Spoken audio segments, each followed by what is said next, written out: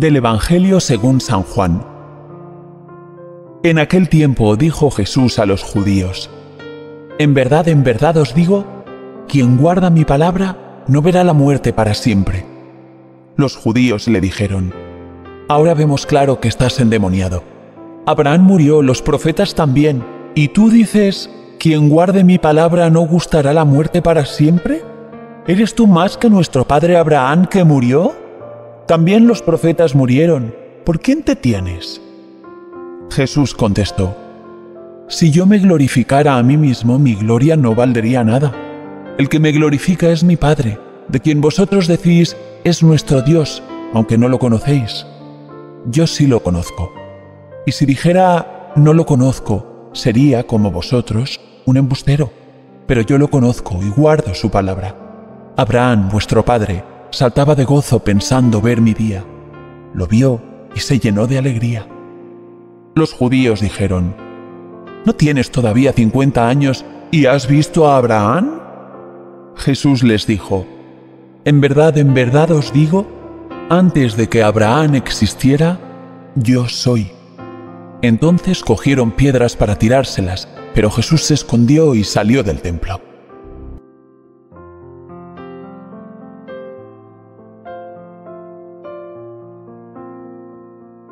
Abramos los ojos y el entendimiento para poder aceptar las palabras de Jesús. Ciertamente, dice cosas difíciles para ser aceptadas por el común del pueblo judío, y más aún por los conocedores técnicos y profesionales de la ley. Aún nosotros, que sabemos de su resurrección, a veces tenemos dudas. Tengo un amigo con el que hay siempre pelea, dialéctica, claro, cada vez que se plantea el tema de la resurrección. Y me temo que el problema está en una mala interpretación de lo que es resucitar.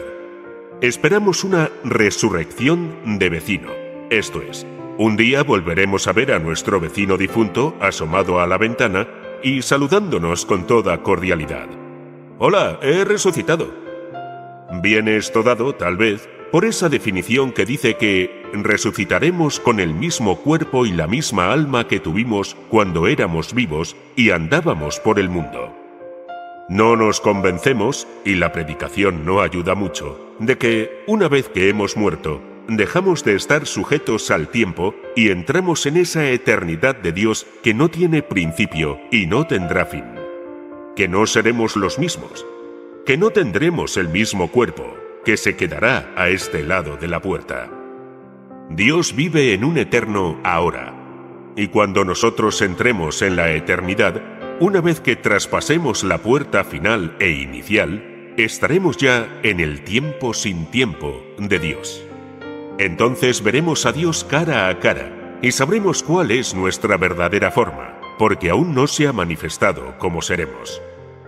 Cuando Jesús resucita y se deja ver por María Magdalena, ésta, a pesar de estar profundamente enamorada de él, no lo reconoce y lo confunde con el hortelano, porque la entidad resucitada puede que no tenga ningún parecido con nuestra identidad viva. Cierto, seguiremos siendo nosotros, pero no sabemos cómo será nuestra forma.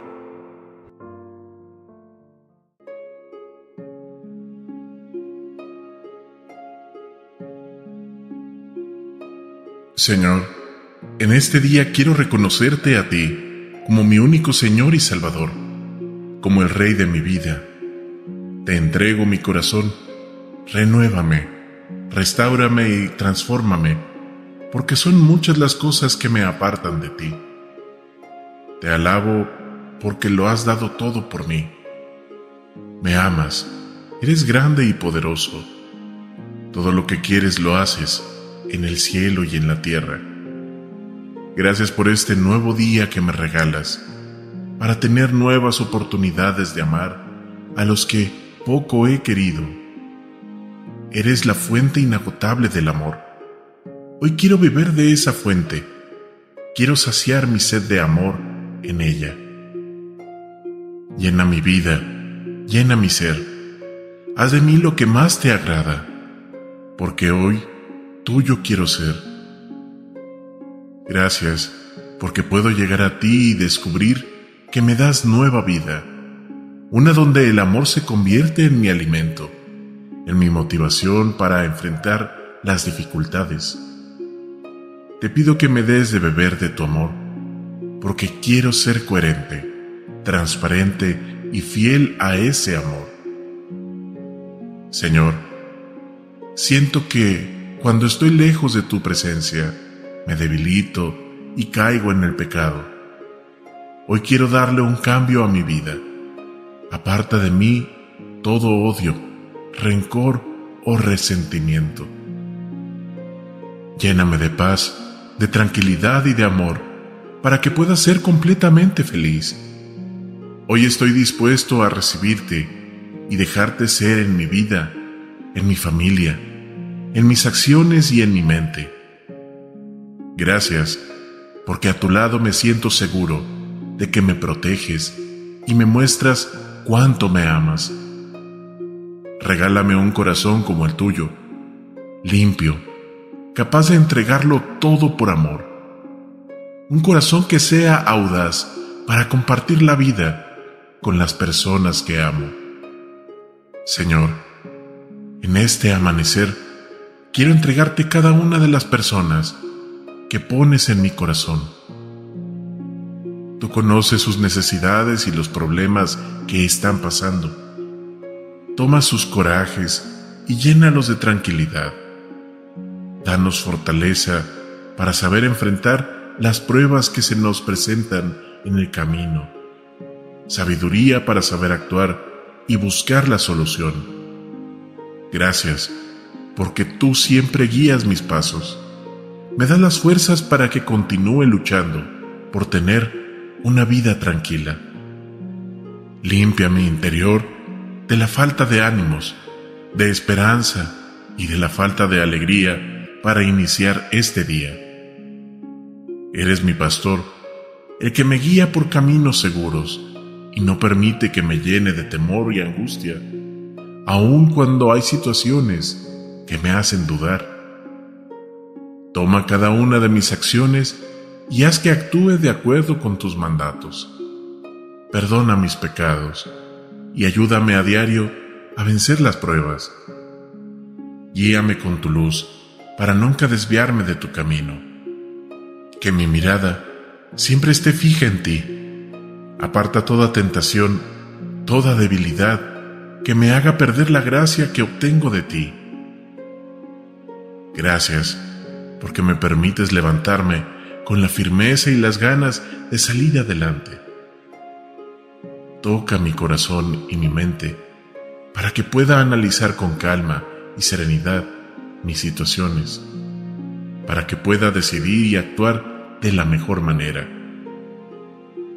Gracias Señor, porque tu palabra está siempre en mi corazón, porque te revelas con amor a través de las personas que me aman Amén.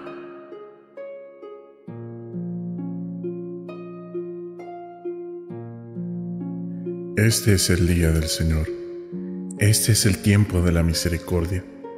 Delante de tus ojos ya no enrojeceremos a causa del antiguo pecado de tu pueblo.